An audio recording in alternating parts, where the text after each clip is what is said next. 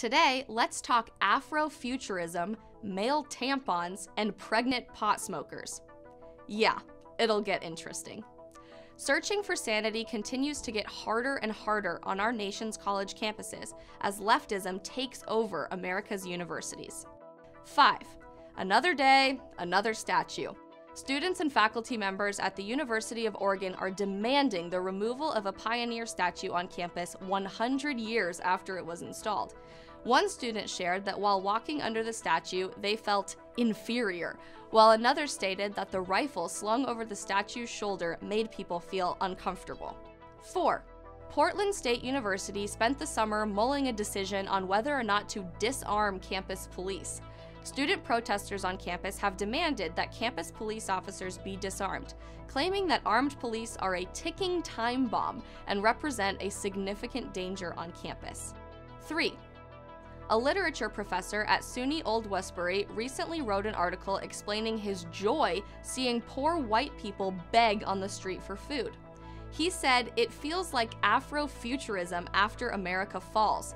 It feels like a black nationalist wet dream. The professor researches African American aesthetics, surrealism, Marxism, and feminist theory for the university. 2. Numerous colleges, including Syracuse, Cornell, and the University of Wisconsin Madison, have installed menstrual products in men's bathrooms in an effort to educate students that everyone can have a period and deserves free period products. 1.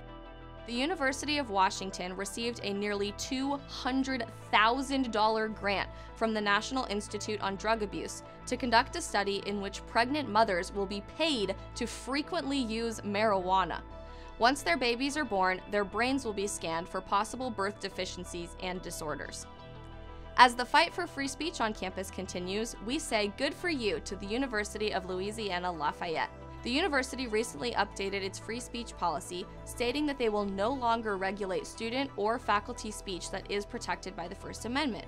The policy states it is not the school's responsibility to shield people from ideas or opinions that they find unwelcome, disagreeable, or even deeply offensive. In search of sanity, I'm Isabel Brown for PragerU.